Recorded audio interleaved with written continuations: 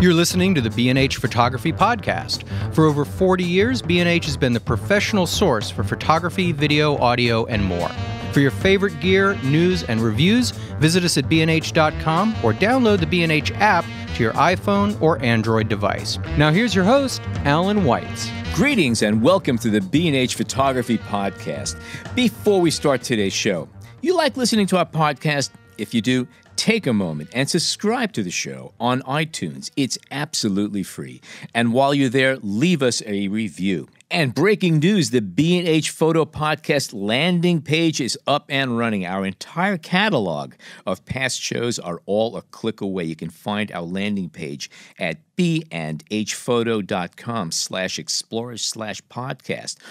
Also, something really cool. We have a SpeakPipe available for leaving audio comments, little voicemails right from the screen, some of which we might even play on the air. Think, think of it as going to the drive up window at your local restaurant and talking to one of those, you know, clown things with a microphone. It's the same thing, except instead of food, you get feedback and you can hear yourself on the Leave air. imitations of Alan, too. there you go. That's right. If you can imitate my my laugh, there's a free Pepsi for you there. There you go. free Dr. Pepper. Today, we will be talking about ophthalmic photography, photography of the eyes. We welcome to today's episode Mark Maio, who blends his accomplishments in ophthalmic photography with a career as a fine art photographer. Mark developed the first high resolution digital imaging system in ophthalmology and is a past president of the Ophthalmic Photographers Society. In 2006, Adobe selected Mark to be part of their Biomedical Image Advisory Group, and in 2009, he founded the Digital Imaging Institute to further the knowledge of imaging in medicine, science, and research. As a fine art photographer, his work incorporates his ophthalmic photography as well as landscape and documentary photography, including a wonderful series, Against the Grain, about the grain industry in Buffalo, New York. But first, Al's Gearhead Pick of the Week. This week, Bergger, the last French film and photographic paper manufacturer, has announced the rollout of Pancro 400, a new ISO 400 black and white film that'll be available in 35mm 120 roll film. And get this 4x5, 5x7, and 8x10 format sheet film. This is big news. The new film makes use of both silver bromide and silver iodide emulsions, which, as we all know, together serve up a wider degree of exposure latitude compared to other 400 speed uh, black and white emulsions. This is the first new film from Bergger in 15 years, and it should be in stock at B&H sometime in March of this year. And Bergger isn't alone. Ferrania, which used to be one of the largest film companies in the world, an Italian film company, is reintroducing a limited run of Ferrania P30 Alpha, which is a reissue of an ISO 80 black and white panchromatic film originally released back in the 60s. It's available in 35 millimeter only. This is a test run for what they hope will be a transition to a beta release and maybe a full time offering. Stay tuned. Film's not dead. Nope. Mark Maio is one of those few people who've managed to successfully carve dual career paths, one technical and one aesthetic and cerebral. Mark, welcome. Thanks for joining us today. Your Thank turn. you for having me. Great to have you here. So, could you tell us a little bit about your background? Because you, you have an interesting background. Give us give us a little bit of uh, a taste of where you were and how you got where you're going. Grew up in uh, Milwaukee, Wisconsin, and found myself attracted to photography at the end of high school, and and got accepted into a, a photography program at a technical college, two year uh, technical college in Milwaukee. This is back in 1973. Uh, I had big interest in Life magazine because I, one of the ways I made money as a kid was actually collecting newspapers and magazines and selling them to the to the junk man for money and would look at Life. Ma- I mean, that's what we did, right? And took a lot of time um, looking at those Life magazines. We we didn't have a subscription to it, and when I got into photography, I thought, gee, this is some great way for me to somehow use uh, my skill and help people. I, I had this idea that you know this was the this was the late '60s, early '70s. You were going to help save the world, and I was going to do you that. You and by, me both, pal. You and me both. Right. and we were going to do that by you know showing all the wrongs in the world, and then magically everything was going to be uh, fixed. And in 1973, as I was starting, Life magazine folded. And again, this was, I was just turning 18 in 73. The Vietnam War was going on. Every night you'd see reports from Vietnam via satellite and video. And somehow I got it in my mind back then that the days of sending a photographer out to cover a story for uh, 30 days were over, and that we were going to we were going to see our get our news and get these stories via via video and TV. And so, as I was going through photography school, one of the advantages of, of going to a technical college and sort of having some things set up that you we, we all the photographers had the same English class and we had to do and this was something really smart they made us do a research paper on some form of photography we didn't know about and I found this thing called medical photography. And as I'm getting out of school, I'm thinking, I didn't want to be a portrait photographer, uh, wedding photographer, commercial photographer not that there was anything wrong with it. I just knew that that wasn't for me. And, and I said, you know, here's this medical photography. This is some way I can use all these skills that I've learned to help people because we were, we weren't taught to be artists. We were, we were taught to be photographic problem solvers mm-hmm. so that we can insert ourselves into really anything that had something to do with photography and be able to, to make images. And so I got this job. Uh, I looked and found a job as a medical photographer and medical photography is was used back then at teaching hospitals to help teach the, the other doctors, whether it be the residents or fellows who were learning to become doctors, or it was an established doctor that was doing some uh, research or some new surgical technique that they were going to be training their colleagues Can and I lecturing ask what, what did that at that point what did that entail you know the medical photography? What were you you know, org- how were your how was the shoot set up? How did you organize it? What did you come in with? What was there for you? What was the gear you were it, using? It it varied. Obviously, back then it was film, mm-hmm. and it it varied. It was it was in some ways you were a jack of all trades because in addition to the medical things you were doing, you were doing PR stuff, you were doing portraits, you were doing. I had a, I had a class in school. Uh, I had to do an aerial photograph. One of my first assignments as a medical photographer was to photograph the hospital because they had just built a new wing on it and they wanted an aerial photograph of it. So there was that stuff. That and you were hi- you were hired by the the hospital. You were an employee yes, of the hospital. Yes. Okay.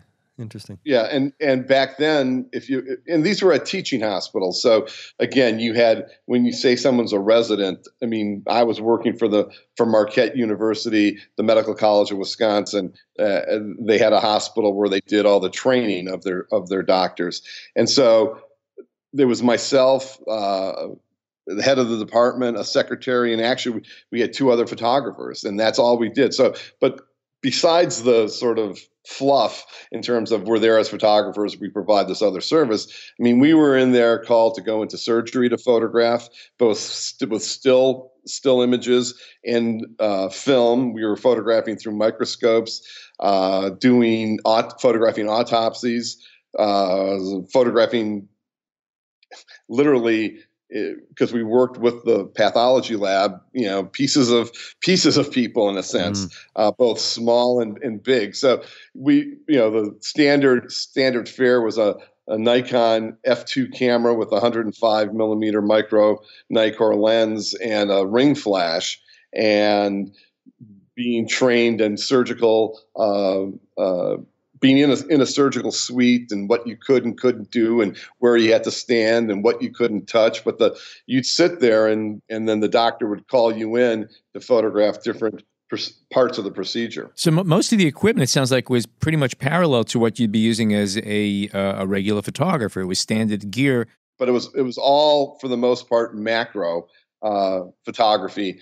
And and that in a sense was was it started to become the downfall of that profession because doctors started i mean doctors are very uh, interested in photography, and many of the doctors had better equipment than the photographers I knew uh, working commercially, and so they started getting their own equipment. That's one thing that hasn't changed. That's correct. yes. Exa- exactly, exactly. Um, and so I started to see. I mean, there were a lot of forces going on. Cameras became more automated. You had auto exposure. Then you know technology changes and with those changes come other changes and what started happening was the doctors just started buying their own equipment and in a profession that at the time had maybe 15 or 1600 members back then in in the US now that organization is down to 40 people and Really? it's really Can I ask you at that time? Did you? Well, I have a couple questions. First of all, how were you with the um, with the actual blood and guts of it, and uh, also was it kind of fulfilling some of the desires that you had had at that point to uh, to be a, a, a photographer working for the the greater good, or, or did it not feel that way at the time?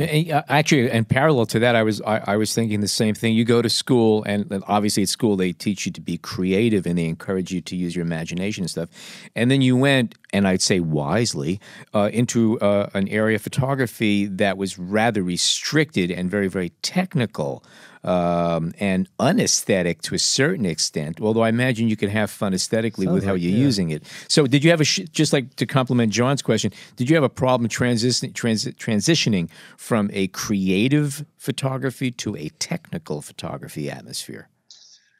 Uh, no, because uh, we we weren't. I, I had I did not have one art course in my whole two years. Okay, so, was- so you didn't have was- to go through the withdrawal. Okay, understood. No, no. I mean, it was we we we, we were trained. Uh, it, it wasn't about expressing yourself through photography. We were trained to be, as I said, pro- photographic problem solvers. So no, that wasn't a, a problem. I, the funny thing is, you ask about um, being the blood and guts. I mean, when I first told my mother that I had gotten this job, her first reaction was that I was going to be doing all the baby photographs, you know, the newborn baby, which which which we never did. They had some company that did that, and and and then she said, "Well, how do you, how do you know you're not going to get sick when you look at all this stuff?" And I actually had never thought about it. And I think on my first day working, uh, we had gone to lunch, and we were then had a beeper in case they needed something emergency, and we got beeped to go into the surgery right in the middle of lunch. Right, so I went from eating to looking looking inside somebody, and uh, and it and no, it did it didn't bother me at all. That wasn't. Uh, but also then to to answer your other question is that I did feel like I was doing something. I felt like I was helping. I, I, I was helping the doctors learn. I was helping ultimately patients down the road because the more things happened and the more information was exchanged and the more people learned how to do things better, ultimately the patients were going to benefit from these new techniques.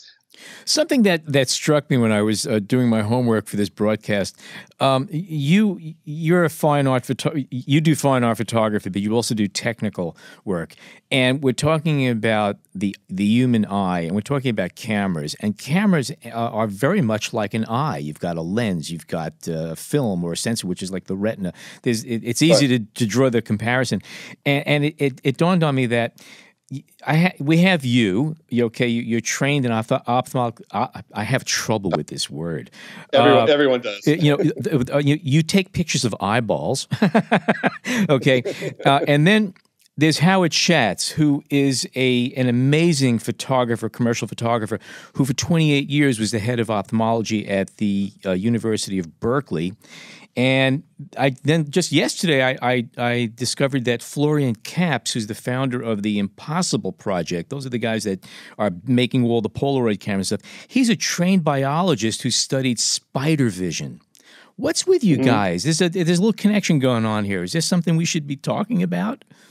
Well, I, I actually I knew I've, I've known Howard ever way back. I mean, he was, I mean, he was recognized in in ophthalmology. The, the eyes broken up into different parts, and people specialize in different parts. And Howard was was a specialist in the retina.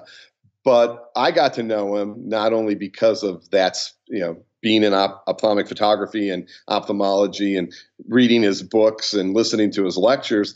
But then I also found out that he did his own fine artwork, and so he would have, like he does now in New York, uh, monthly meetings. But in, he'd have us. He had a studio in San Francisco where once a month he get, you know, photographers would get together and talk about um, their work. I think you know, I, I, went back to school later on, got a bachelor of science degree in biomedical photography, and then did two masters. But while I went back to school, I took a, a, a course called Creativity and the Arts and Sciences. And the interesting part of that course was that the actual creative process, whether we're an artist or we're in science, that process is, is almost exactly the same. Hmm. The expression of it, the expression of it is different. Mm-hmm. You know, what we do uh, with our image or what we do in Howard's case is in, in, in surgery or laser treatment of the eye and what he invented. But but the getting there is so so much the same. And you, I think you find that. I, I find it now with doctors who come to my workshops. I mean, like you said, so many of them have cameras and they're involved in photography, but there's a big part of them that that has and that art background. There's a there's a, a very famous retina specialist in New York City. Um, his name is uh, Rick Spaide, and Rick does amazing photography. And he wanted to be a photographer rather than a than a. Hmm. I mean, he's a internationally world famous ophthalmologist, retina specialist who's invented all kinds of things but he has an incredible eye and does incredible work. Can we talk a bit about the uh, your, how you got into the ophthalmic uh, work, and then kind of be specific about uh, some of the gear that is used in that, and how it uh, how it would translate again for the uh, the pedestrian photographer, as Alan calls us sometimes. well, um, I was very naive about ophthalmology and why images were done in the eye. But my supervisor suggested that I look into this, uh, and so I. I, I contacted this guy that used to work there and I took a day of vacation and I went over there and just spent a day with him to see what he did. And about six months later, he called and said there was a position open, and I applied for it. But at the what I started thinking of was, you know, here I was as a medical photographer helping, but here was an opportunity as a photographer to help people with their vision. So, what better way for a photographer to help people is than with their eyesight? What are some so, of the medical uh, conditions, if I may ask, that you're diagnosing with the techniques that you use? The first thing you have to realize is that the eye is the only part of the body that if you dilate the pupil you can look in without having to cut or really you know use some high end specialized equipment in a sense so you can see the when you look in the eye you see the retina but you see the veins and the arteries in the back of the eye. And so anything systemic that's ha- happening to the body tends to show up in the eye too. So the most common thing is is diabetic retinopathy. You have diabetes, you don't control it. It starts affecting your body, but you can see it in your eye, and it starts affecting vision. Back when I started, is when they really were starting to use experiment with using lasers to treat the back of the eye. So we would do um, a test where we had a specialized camera to photograph the retina and we do some color photographs on Kodachrome film. They'd be in 3D so that you could see any um, anything that was elevated or depressed. But then we inject sodium fluorescein dye into the vein in their arm, and it takes about 12 seconds to get up to the eye, and it goes through the arteries and then back out through the veins, and very quickly. And we would do a series of photographs then that the ophthalmologist could look at to say, make their diagnosis, and then they would take the images into the laser room and project them while the patient was there and use the photographs as a as a roadmap on what they were going to treat the the treat the with the, with the laser. Interesting. So, so what was the? You mentioned it was a specialized camera. What was that camera, or how how was it uh, specialized? They they if you've ever been examined by an ophthalmologist where they put a, a light on their head a very bright light and they hold a lens in front of your eye and they project this light through the lens that's called an indirect ophthalmoscope. And so what happened was they took that technology and built it into a camera mm-hmm. essentially that sits on a table so you're projecting this light into the eye you're using the eye as part of your optical system because you've got to go through the cornea and the lens and that's actually your your your optical system, and then it's projected inside the camera and it's focused on there. And then you were using a 35 millimeter film camera on the back. So you're using Nikon's, uh, Pentax's, Contax's, whatever it was. Mm-hmm. It was just a way to move film. Right. And, uh, you know, you do some photos in color with film and some in black and white. And they were, the cameras were called, they're referred to as either retinal cameras or fundus cameras. Fundus referring to what the, the, the back of the eye is referred to as the fundus. Okay. And you said that you would take that series of photos at that moment. Uh, was how long of a, a, sequence was that, and how many shots did you take normally?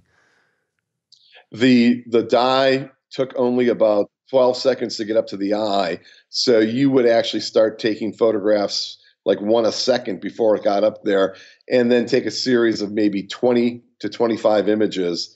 By that time, the dye had already gone through the eye and was at, would actually come back into it at a lesser concentration.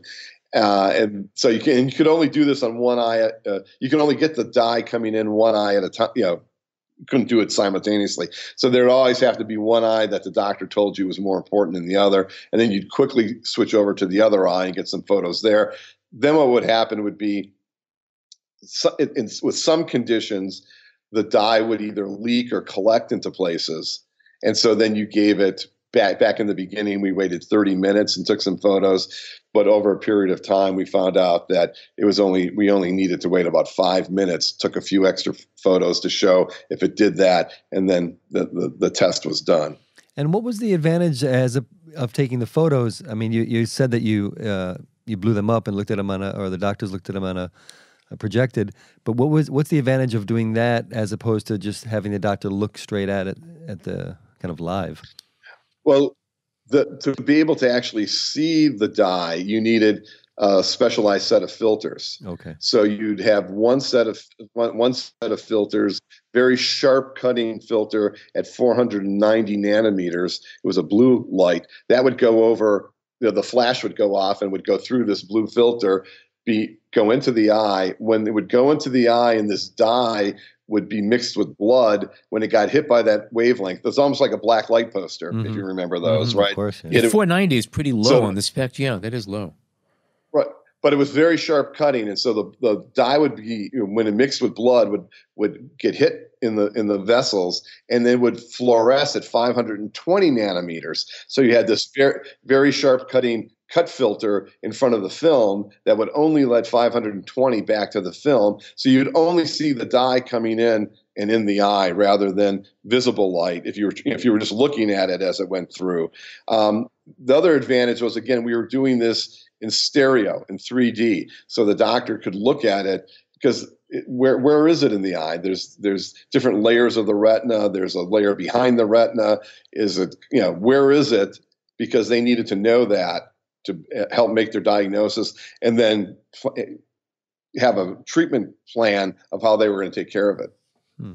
And and in the flash you mentioned it was the ring flash. Is that the the? No, no, no, no. This was this was a a camera that had a built-in flash tube into it. So it had it had a, a, a, viewing light that you'd use to focus and get everything set up and, and and watch. But every time you took a photograph, there'd be a flash that would go off. And we're talking a flash intensity of maybe 420 watt seconds. Uh, so there were big power supplies. I mean, they almost looked like t- studio uh, power supplies back then. And uh, and that and that was the that was actually you know the shutter speed. You didn't have you didn't have a way to there was one aperture so you couldn't control the aperture the shutter speed was the flash and the only thing you could really control was the intensity of the flash to give more or less exposure. What was the experience like for the patient? You didn't tell him it's only going to pinch a little bit at first, yeah, right? no, no. The, the, the doctor, the doctor would say that. Um, so, I mean, if you think about it, you have you know someone's just gone in. They've been told that they have some problem with their eye that they've never heard about, and that they're now going to have this test where we're going to inject some dye, even though you, you've told them you're going to inject it in their arm. They hear you're going to inject their eye with it, right. and so now they're nervous. And so, so much of this became um, patient management in a sense. How do you, you know, explaining to the patient, under getting them to understand.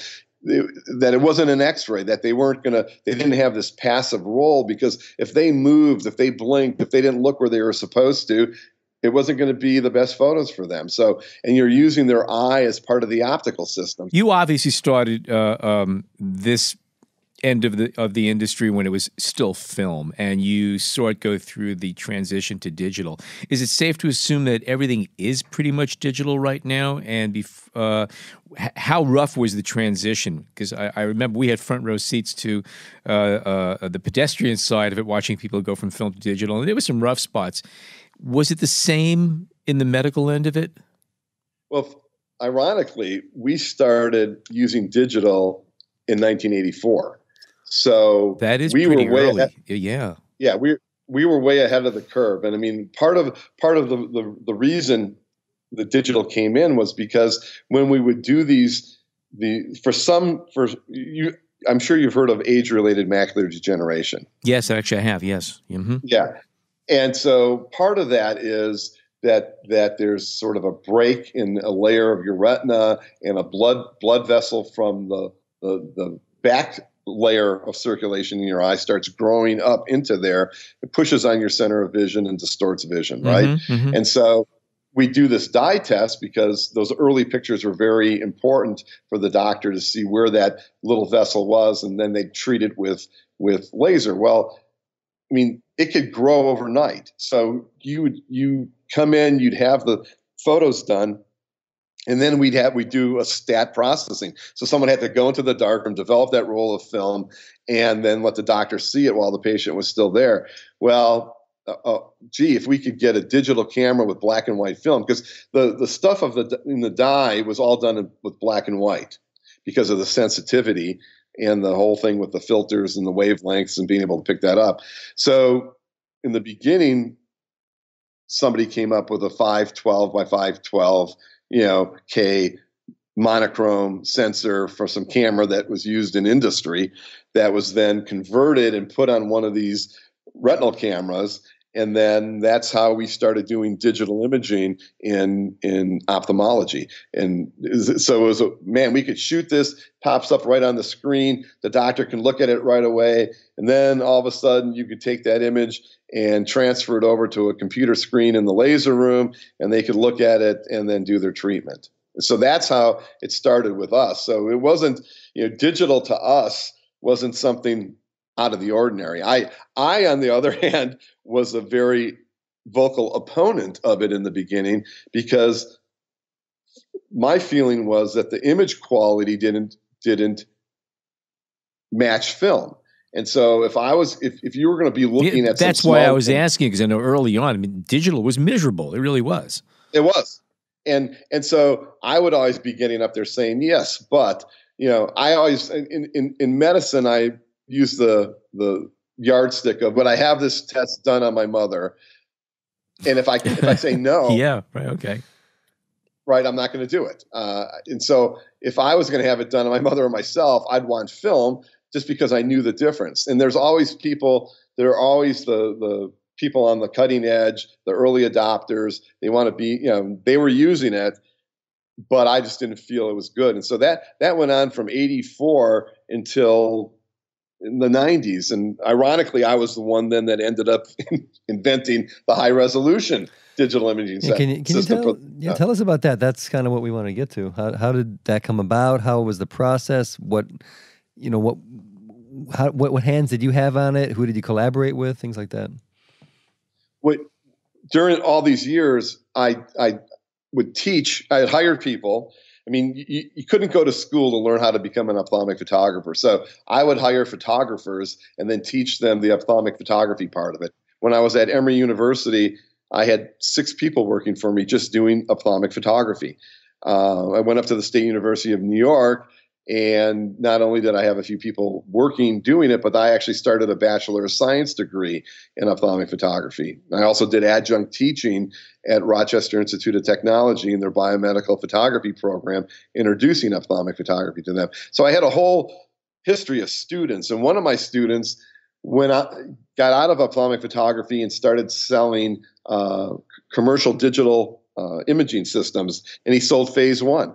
And when Phase One came out with their first interchangeable back for the Hasselblad. It had a full frame 35 millimeter Philips sensor on it with six me- megapixels. Oh yeah, And, the Pro and so this was yes, and so you know from 84 to that point.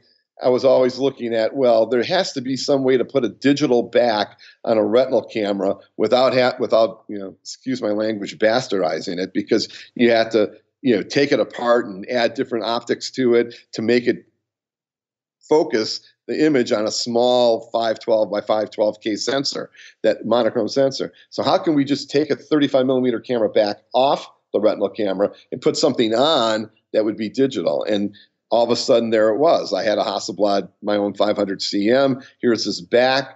And I had this idea that, gee, I could convert this to put on a retinal camera. So I came up with a business plan. And ironically, I live in Atlanta and there was some big, one of the big photo, you know, imaging meetings in Atlanta. Maybe it was the PPVA convention. And so I made a plan and I went to talk to all the top companies, Phase One, um, Leaf. Um, I can't remember all the, the other ones with this idea that I had. And all of the companies except one, all they wanted to do was sell me backs. They, you know, and I'm, and I'm like, no, no, no, I, I need your help to develop this, to work in this specific, because back then we weren't, you know, back then you didn't have USB connections. You, you were actually building capture boards specific to the, to the camera back. And one company called Megavision um, understood what I was talking about. And so uh, the Megavision president was a scan back, wasn't it?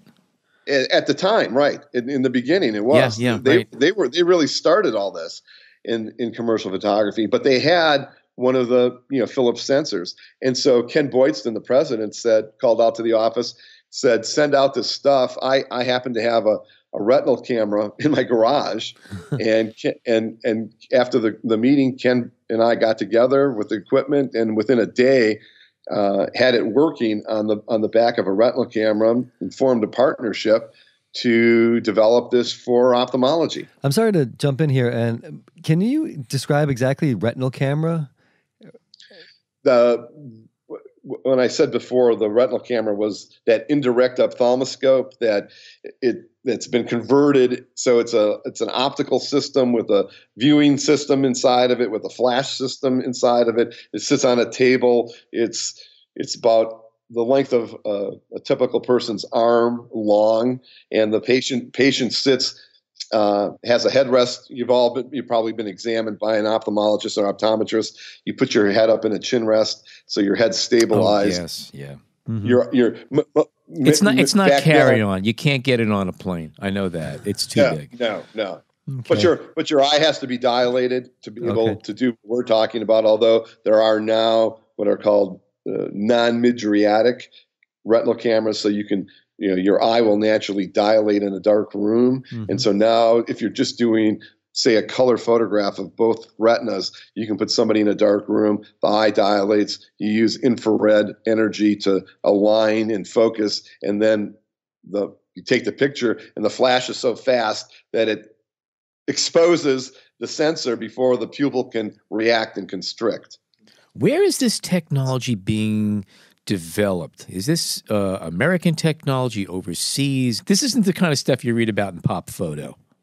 No, um, I, I think the the the first company and, and and probably the company that like like a lot of things in cameras and optics uh, was German. It was Carl Zeiss. So they they developed it in Germany. When I got involved in doing ophthalmic photography, the only cameras out there were Zeiss fundus cameras. High quality, great optics. You know, built like a tank. They were never going to break. Um, what started happening though was that's when the profession of retina specialist started. Doctors, ophthalmologists started being trained as retina specialists when I got involved in ophthalmology in the late 70s. And so all of a sudden, these doctors were getting out into the world, going into private practice instead of it being at a university. And so the Japanese then they were making these things in Japan, and so they started bringing them into the United States. You had you had Topcon brought them in, Nikon brought them in, Canon brought them in, Olympus had you know those were the four and Kowa because Kowa, uh, depending on how old you are, I mean, used to make a a two and a quarter square regular camera for for regular photography. So those were sort of the five companies, and you know the Japanese do did what the Japanese do best. They they are great with electronics. They're great with design, making things simpler. So all of a sudden, this German camera, which had cables and cords, and you had to you know you had to have three arms to use it. The, the Japanese cameras started being purchased in the private practices, mm-hmm. and so they got a foothold into the into the market by that, and then pretty much took it over. All right, and then so uh, to get back to uh, working uh, with uh, Megavision to develop the sensor, how'd that go?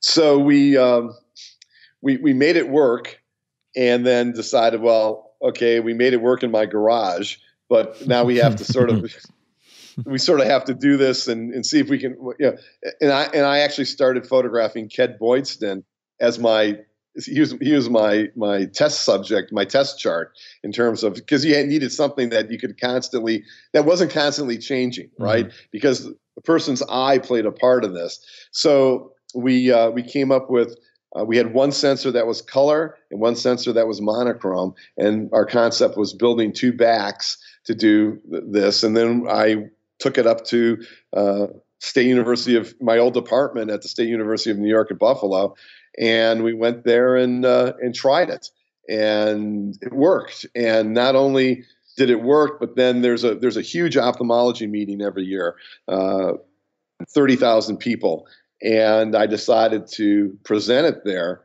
So I did a scientific, we call them scientific papers, where you present what you've done. Mm-hmm. And then I rented a hotel suite, brought in a camera, uh, dilated some people, and said, I'm going to have my harshest critics judge this, my friends and colleagues. Um, and so they came in, and and I mean, my goal was to think that we could get as good as film in terms of image quality. We actually got better than film, hmm. and all of a sudden, the 10% of the people that were using digital once we developed our system and started selling it it was it became the tipping point and all of a sudden in 1999 2000 2001 that it changed it was a sea change in ophthalmology. Um, you you didn't have to you know worry about because there were people there like me who thought if it isn't as good as film, I'm not going to use it on my patient. And then all of a sudden they were starting to see things on the digital image that they never even saw in film, hmm. and so that that changed everything. And then it went. I mean, uh, i know these are broad steps, but then it went into production. And it, you, was it Megavision that you work with, or who who did you work with to develop and construct the sensors? Well, yeah, no, I I partnered with with Megavision. We built them, and then I partnered with an uh, ophthalmology company uh, to because you need when you're doing a medical device, you need the infrastructure of FDA clearance and and all the things that go along with you know support, customer support, software support. And so I went and, and partnered with a company. And unfortunately, that partnership uh, I saw early on wasn't going to work. And ironically, I left the company. Just, I mean, I walked away from a lot of money, good salary, a lot of money, a lot of stock. And I had my lawyer sort of craft a statement saying that I was leaving the company. And uh, I flew home from a trip with my wife on a Monday evening and I got up on Tuesday morning and I was going to put this out there and all of a sudden planes were crashing into the World Trade Center. Oh. And it's sort of, and it's sort of, uh, you know, sort of, eh, you know, here I was without a job, without a company, without any income, thinking that, what did you just do? Yeah. And then it put it into perspective of, of, of, uh, you know, my troubles weren't anything. And a couple weeks later, I put the announcement out, and another company immediately contacted me, said, We want this technology. They had software already developed. And so I went there, took the technology over there with Megavision, and we virtually took over the, the market in, in the world. And ironically, because we're using the eye as a as a part of the optical system. Yeah, can you explain that, that a little bit? Uh, I, you mentioned that a couple times, and I'm I'm trying to get my my own head around it, my pedestrian head around it. but can you explain how you're using the eye as part of the system? because when when that doctor puts that light on their head and they hold that lens up in front of your your eye, Mhm. they're using your your your lens and your cornea as part of the optical system too. Okay. So what happens is the light goes into the light goes into that lens they're holding, goes into your eye, and then comes back through the center of it using your lens and cornea, and then it's projected on that on that lens. Right? It's a projected image. It's not a real image. And so that's what the, that's how the retinal camera is built is to project this image into into the camera, and it's sort of this virtual floating image that you focus on. And so, the, if if there's some imperfection in your cornea or your lens, that affects optical quality. When somebody gets a cataract, it's really the their their lens of their eye starting to get hard with age. And there's other reasons too. But if you've got somebody with a cataract, that's going to affect the image, the quality of the image I can get through it or around it. Does that make sense? It does. Yeah, Yeah, it does. yeah. Thank you. Yeah. Yeah. And um, Um, go ahead. But but we, we what, we did in our tests is we figured out that even though the, the sensor was six megapixels, the, the the the resolving power of the of the of the lens and the cornea coming back out in this projected system was only four megapixels. We only needed a four megapixel full frame sensor. All the uh, the operators of the cameras that were already working, uh, did they then need to replace their whole camera system or just buy the digital back? Ju- ju- that that was that was my business plan was they just had to buy the digital back Okay. right with a computer that was hooked up to it you you didn't have to do anything to your your retinal camera other than now put this onto it so it had to work it had to work just like the camera did and one of the biggest problems that we had to overcome was being able to photograph at a frame a second and display that image on a screen at a frame a second because that's how fast we needed to be and back Right. then you know that was i mean that was uh, so the engineers the software engineers and the hardware i mean you had to fine tu- tune and tweak all of this to actually make it work Right, right. Mm. Can you tell us a little bit about the uh, Adobe Biomedical Advisory Group that you're a member of? yes um, so you photoshop for up until 2006 there was just one version of photoshop and then adobe decided that they were going to come out with what they called photoshop extended that had in, in part of it was the these tools for science medicine and research uh, the, these technical imaging tools and so they created their biomedical imaging advisory group by sending out a call uh, and the, the call went out through at the time uh, NAPP, Scott Kelby's group, and I was a member. And you know, if you they, they asked if you're if you're working in medicine or this, let us know. I'll, Adobe's interested, and they they talked to 500 people and chose 12 of us to to work with them to with this Photoshop extended. And you know, you said my fine art photography and my t- technical. I mean, it was finally it was like here was this program that finally brought both of my halves of my photographic life together you know Right. and, and in one in one place. I didn't you know and, and so then that's what we did. I uh, unfortunately um, i mean adobe you know adobe sort of works in the premise uh, if you build it they will come. And in in photography in general photography you know they build a, a new version of photoshop. We all get it because we're photographers and that's what we're using. And they seem to think that that was going to happen in medicine and it didn't because most people in medicine didn't use photoshop. Um, there were problems. I mean and adobe even said that this wasn't something that was being built to diagnose and treat because then it would it would require FDA clearance and approval right? They were Mm, just right. imaging tools. And you know then you had you, you had if you remember the cloning of Dolly the sheep right? That somebody did that. They are actually actually able to clone that. And then there was some researcher I think in South Korea who claimed to have cloned a human being. And and when they started looking at his evidence I mean in Photoshop there's you can you can have turned on a very extensive history file that records everything you do Mhm. and he, he he had it on. They looked at his history file and he saw that he had actually then just you know manipulated the image to show that he did it. He didn't really do it. Oh, And I that's think that then be- terrific. Yeah.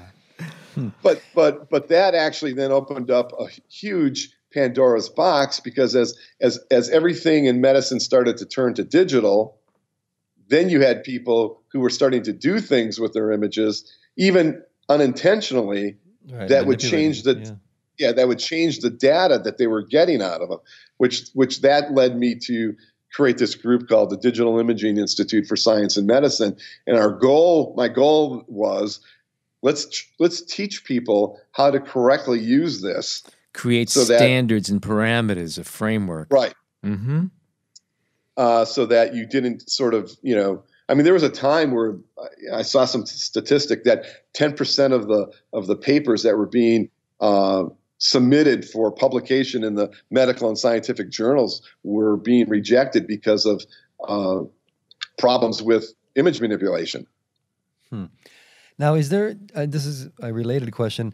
In in terms of ophthalm, ophthalmic photography, is there what can be done in the post processing that either helps or, uh, in this case, maybe hinders uh, what the diagnostics of it? Is there a, lot that can be done? And, and Is there room for visual expression and creative expression in this?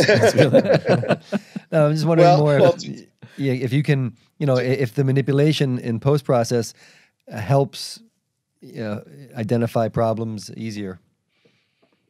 there, there are some things like you know, ch- you know working with contrast, Mhm. say, uh, or exposure. You you you have a uh, an eye that has some uh, some compromise in the in the lens and the cornea or the or the vitreous, the gel in the eye. Right, there's some blood in it, and so you're not seeing things uh, as clearly, and so you could you know bump up contrast a little bit, uh, brightness. You can uh, take something that might not be quite sharp and sharpen it just a little bit. Right, you can do those types of things that help you, but there's also things where you can use different in in in the program you can have different filters in a sense to give you different wavelengths and and then show different layers of the of the retina right? You can break it up into RGB and then look at different things that might show you different different aspects of the eye.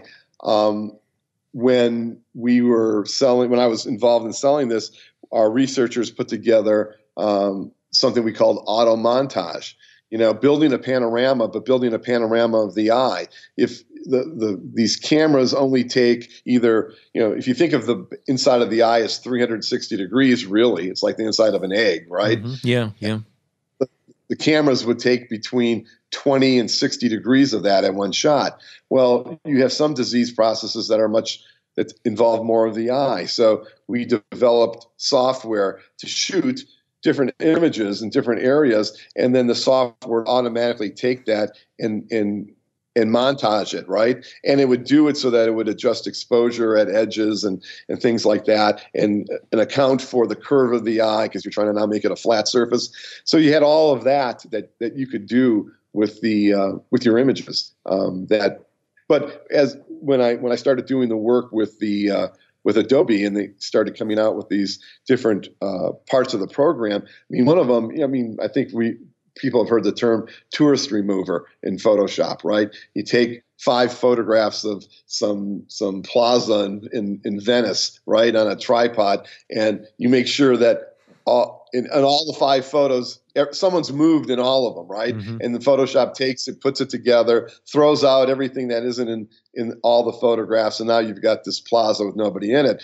Well, one of the things with photographing the front of the eye is because it's curved and it's wet, you you always get a specular reflection. So I just experimented with okay, I'll take a picture with the specular highlight on one side of the eye, flip the light source to the other side of the eye, take another one, put it in there, use that technique, and voila, I had this photo of the front of the eye without any specular reflection. Right. Or or even uh, HDR, high dynamic range.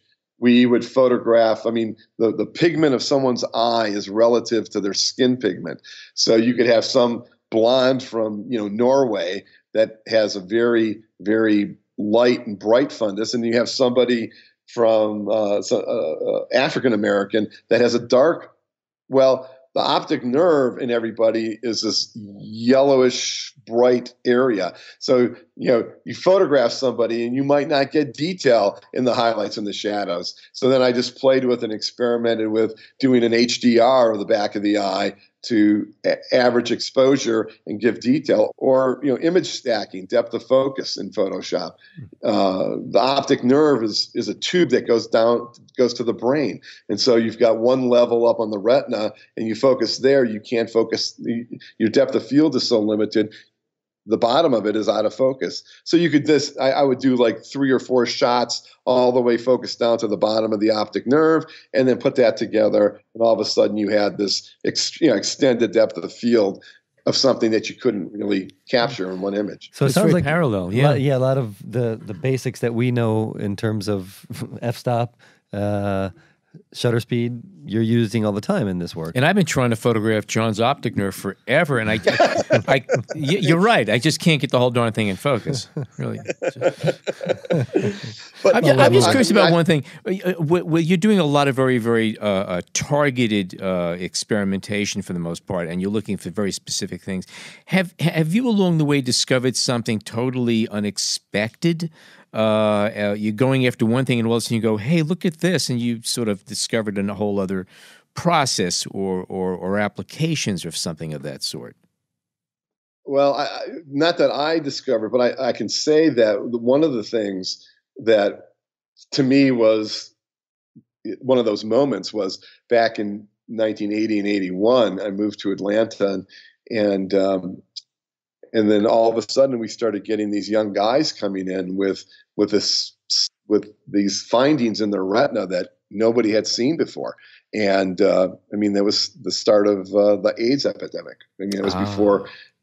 you know i mean but because again it's systemic and they were in more advanced stages but nobody even knew what it was but they were coming in because somebody had looked in their eye and said look at this. I, I, I, don't know what this is. And so we were very much on the forefront of that. Um, as a technology develops, different technologies get sort of brought in to the field, and then things start to be used for other things. I mean, we we we have the ability to, to do what's called autofluorescence. There are things in the eye that if you hit them with a certain wavelength of light, I'm not talking about injecting that dye, I'm talking about just natural occurrences or disease processes that when you hit them with a certain wavelength of light, they fluoresce. And then you're able to, to record that. Um, I'm just getting done with a project now that we're using imaging in the eye to be able to predict Alzheimer's. Uh-huh. So it has nothing to do with vision. It's taking it's taking technology that was developed for ophthalmology, for you know studying uh, visual problems and using it, t- changing it, and then being able to now find people 10 to 15 years before they'd ever be you know diagnosed. Because right now the standard is you have this stuff called beta amyloid plaques. They collect in your brain. The only way you see them is with a pet scan when there's all of them there's so many of them and then the th- theory was well why can't we see this if the eye is part of the brain? Wouldn't we be able to see them in the eye and maybe see them earlier than that? So yeah there are things like that that are happening that i believe will continue to happen that we'll start looking at the eye in medicine for different things other than just for vision. It's an interface, is really what it is to the human body between the. the this, it's a portal. A portal. You know, I mean, better the, word. You know, yes, portal. Yes. Yeah, yeah, you know, everybody says, "Oh, you know, the the eye is a window to the soul," but it's you know, in many ways, it's it's the window to your your health. And you know, I mean, right. if you have hyper, you have hypertension, you can see that in your eye. If you, you know, I mean, there's there's all kinds of things that I never even knew when I first started this that had anything to do with vision. And um, there you are. It's it's there. I have one more question before we take the break that we keep putting off here, but um, this is a good conversation. Um, again, can you maybe just touch about touch on um, some of the things that we would, as regular photographers, uh, understand when it comes to uh, you know the focal length of the lenses that you're using and and the the general range of f stops and, and the shutter speeds on, on the cameras. Uh, is there any correlation? No. It, well, it, interestingly, we, are what we have been concentrating on is photographing the retina mm-hmm. and using a fundus camera. There, there are other imaging modalities that we use besides a, a, fundus camera. One is called a slit lamp. So when you've gone into your doctor and they examine your your eye, whether it's an optometrist or an ophthalmologist, you put your head up in this chin rest and they've got this instrument that they're using to look at your eye. That's called a slit lamp. And the, the correlation actually is that that slit lamp, we can there there's systems that you can put cameras on, whether it was film cameras or now digital cameras. And the correlation is that, that it's actually like a mini studio. Mm-hmm. It's your your your product becomes the eye. It's what is wrong with the eye, and and so a lot of it. I, when I and I teach this myself. I, I, equate it to glassware. You're photographing imperfections in glass, or you're you know the, the cut of a glass in crystal, and now you've got to use different lighting techniques to be able to to show this. And so you've got this little studio with this with these two light sources that you can change direction and shape and size and intensity. And you have a magnification system for uh, low magnification to high magnification. And now you're lighting it to show. matter of fact, I'm leaving Thursday. I'm giving a, I'm a guest lecture at the New Orleans Academy of Ophthalmology to talk about this to doctors, how to, how to photograph the front of the eye. But that's all about f stops and and ISO and um, sensor size and color rendition, uh, exposure. I mean, it's it's it's all of that, except you're applying it to conditions, uh, disease processes of the eye that manifest themselves by showing up in different ways with different characteristics. And now you've got to understand that and be able to light it and show it, just like you would if, you know, I have a friend that does glassware or someone that does uh, uh, metal, you know, mm-hmm. knives and forks and all that. Mm-hmm. It's all the same in a sense. And who's who's making the lenses that you're using now? Uh, again, the same companies. It's the it's the the company that makes the fundus cameras also makes slit lamps for the doctors to use to examine the eye, and then those have imaging systems attached to them to be able to photograph. Not it's not that common, and there are different ranges of of these things. I mean, there's there's one company that makes the high end photo photo slit lamp is sixty five thousand dollars, and it's just used to photograph the front of the eye. There are other systems that might, you know, I I I, I invented um, about two years ago a system to put on that that uses an iPhone the iPhone is the camera and it's the computer and it's the monitor and it sits and it's integrated now into the slit lamp so the doctor can be looking at every patient and doing video or still photographs. And if they want to, they can take that and, and, and pair it to a, a monitor in the room or an iPad and then show the patient what their eye looks like. I mean, that's where we've come. And how much is the app for that? Uh, the, the, the app is actually free. The, the system is probably uh, six thousand dollars. Um, it's. I, I was actually planning on asking you when all of this is going to be summed up into an iPhone app, and you just answered that. It's happening already. Well, well, and and and you know, we're talking we're we're talking about doing the Retina. There's already people working on systems to integrate that. And I mean, they're they're out there right now. I mean, you can you know the quality, image quality, still needs to be improved upon, but I mean, it all has to be on a on an iPhone or a smartphone, um, whether it be now making it easy for everybody to have it no matter where you are, but also in developing countries where you're able to take these. I mean, I, have done work with a, a, a, group based out of, you know, actually, they're right around the corner from you, down across from the New Yorker Hotel in the building. They're called Orbis or BIS, and it's the Flying Eye Hospital, mm-hmm. and they're mm. probably the largest. And I and I've gone on missions with them both to to. I mean, they go into countries. They they we volunteer, doctors volunteer, and we go there, and it's a skills transfer. The, the country says, well, This is what we, we need to learn. And we go in there and teach them. And I teach I teach imaging of the eye. Uh, and but but if you're in Nigeria, which is my first trip was, and you know then now you have the ability to take a smartphone and go out instead of having people come to you and be able to do an exam and see something right away and and send it immediately and have somebody look at it and say this person needs this and then take care of it rather than lose the patient because how you're ever going to contact them again. Okay, we're going to take a short break. and we come back, we're going to talk about Mark's fine art photography.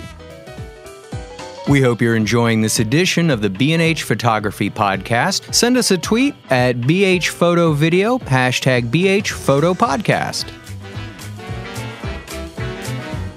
Okay, we are back. Uh, Mark, you are, aside from being technically oriented and, and obviously well invested in what you're doing, you're also a fine art photographer and a very good one, if I may say so myself. Can you talk a little bit about that? How did you get into uh, uh, some of the fine art you're doing and describe what you're doing?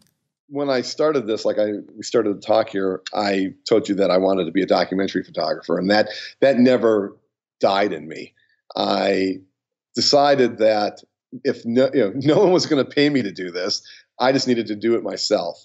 So my entire life, I've then worked on personal projects, and as I worked on myself becoming a better photographer. I mean, you you get out of school and you know you're 20 years old and you have no clue as to really how you need to grow both professionally and in, if you're doing art in your in your art you know. A picture's worth a thousand words only if you got a thousand words to say. And mm-hmm. just because you make a just because you make a, a, an image doesn't mean that it connects with somebody on a on a uh, at a different level and so I always sort of vacillated. You know, I, when I had time, I, would work real hard in the medical side, which would then give me time uh, periods where I could work on my personal work. And so I was always doing that. I, you know, in the beginning, I said I wanted to be Ansel Adams. So a lot of my work, early work, was a four by five view camera. But I, I found out uh, I was making these technically perfect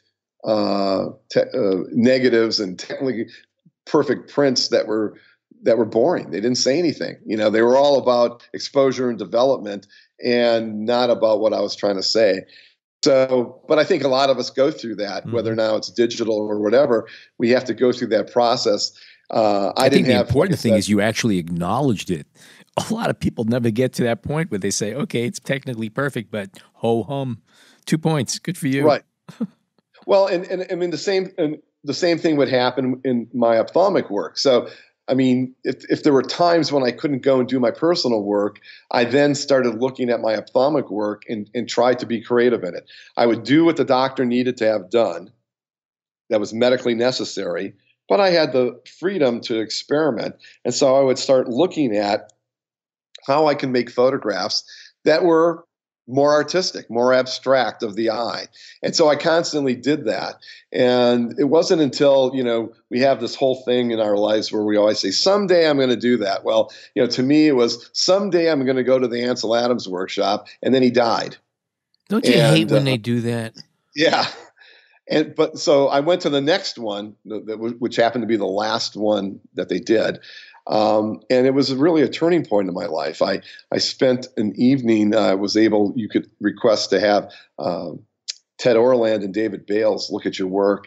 And they did a review of my portfolio.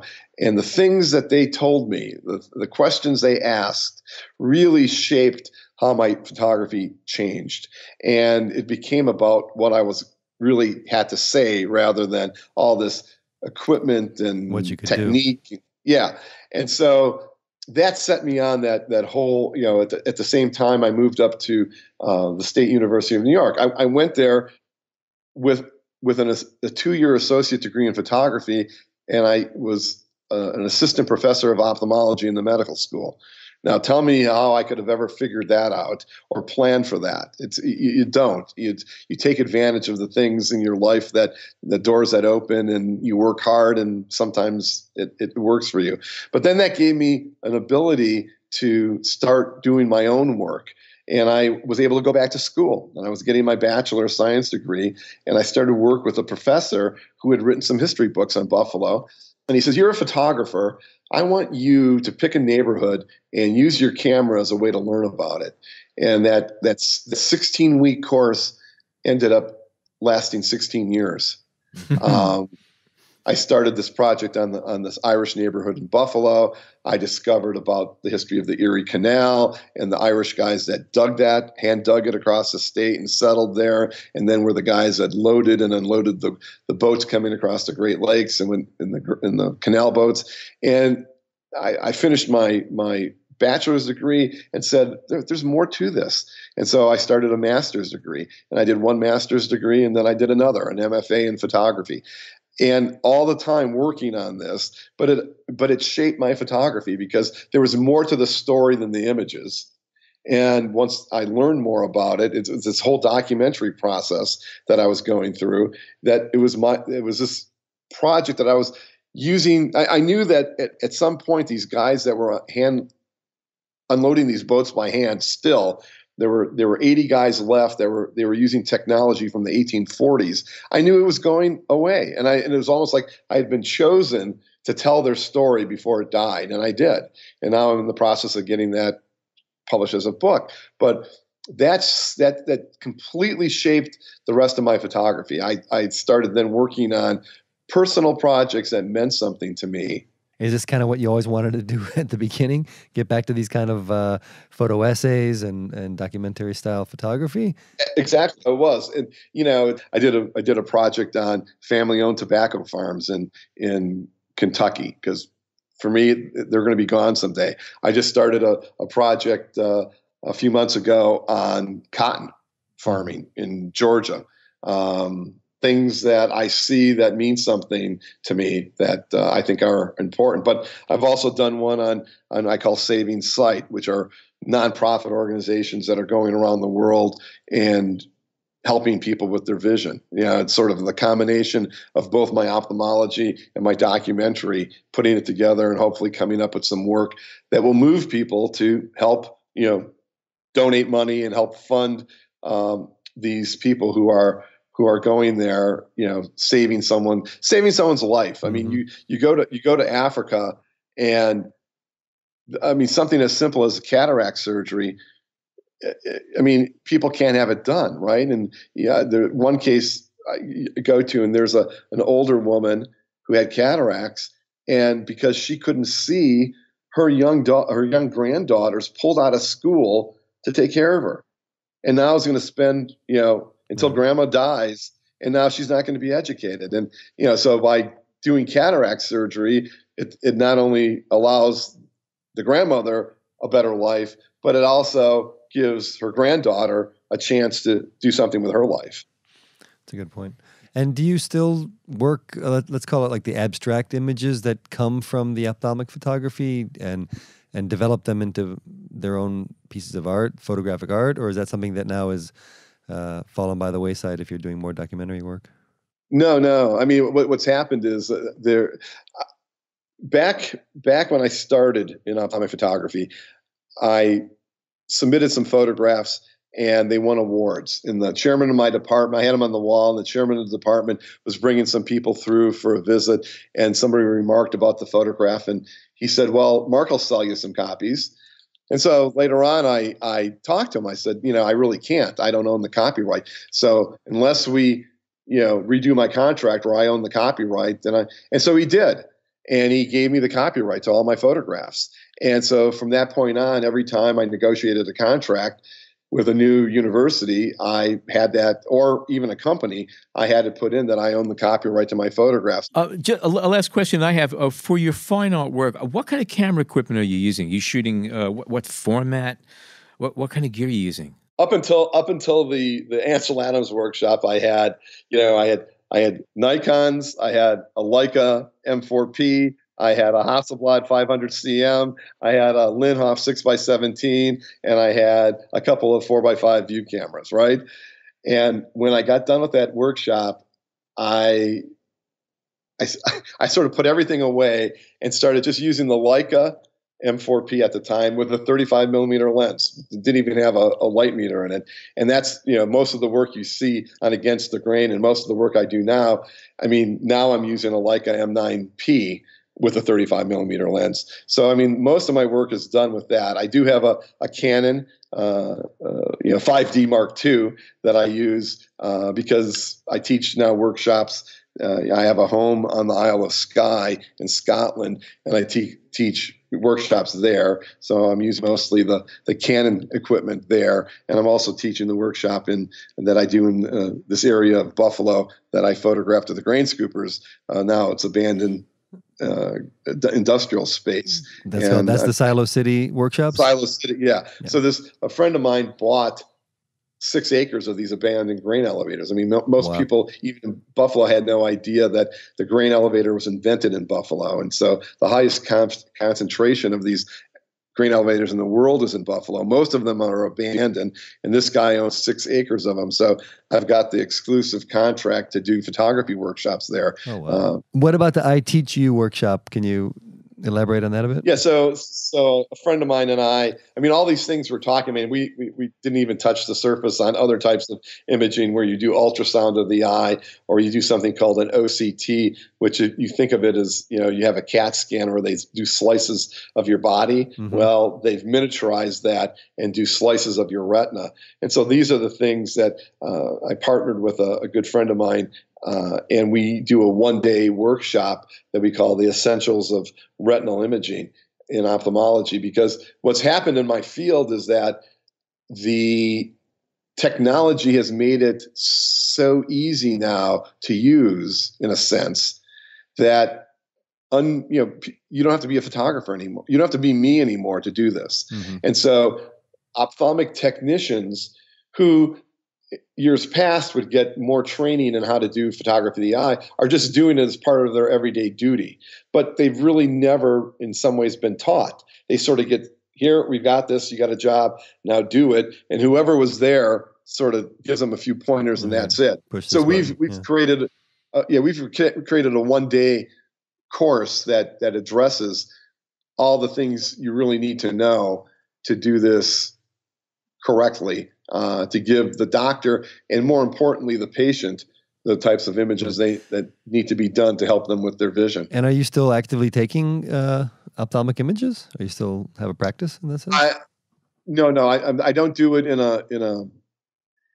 I don't work in a clinic doing it. I I have a consulting business mm-hmm. where I consult with ophthalmic imaging companies right. on their products and developing things. So if I do it, it's all in the sense of of testing equipment. Um, I'm also there's in you hear about clinical trials in medicine, and so in ophthalmology there are things that are called clinical trial reading centers. So before the FDA is going to clear something, a drug or a technique, you have to show that it works and prove it. And so there are then reading centers around the world that you know you, you, you put together this trial protocol and in ophthalmology it's all everything you're doing is expressed in images and then these images get read and graded and blah blah blah and so i work with one of them to uh, in, in in that sense in in developing things for reading reading images. But I also, on the other hand, will work with companies, drug companies,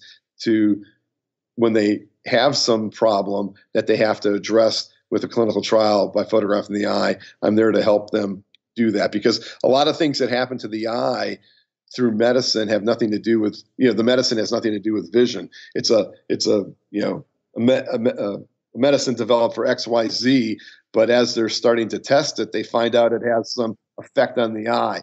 Now they now the FDA causes them, you know, makes them uh, show just what what's happening and what extent mm-hmm. uh, the problem is that they're causing.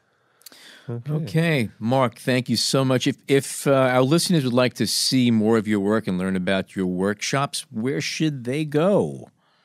uh, go to markmaio.com. It's M A R K M A I O, all one word, dot com. And there'll be a, there's a tab on there for uh, workshops uh, that they can uh, get more information on them. When is the next Isle of Skye workshop? Exile of Skye is the, is the um, uh, right at the end of May uh, into the first week of June. And then there'll also be one in, um, in in September. It's a lot of fun. It's a very it's it's it's like six people. It's a small group, intimate group. you know, beautiful place on the ocean, and it's about people working together, and we, all of us, becoming better photographers, plus making some beautiful images. There you go. Are there spots open? There are. All right. Yes, there are. Jo- After lunch, John's going to be booking it, I think. All right. Mark, thank you so much for joining us. It was terrific talking with you. Um, that's a wrap on another fine show, in my opinion. If you have any thoughts, suggestions, or comments, please email us at podcast at bhphoto.com. You can also tweet us at bhphotovideo with the hashtag bhphotopodcast. On behalf of John Harris, Jason Tables, and myself, thank you so much for joining us today.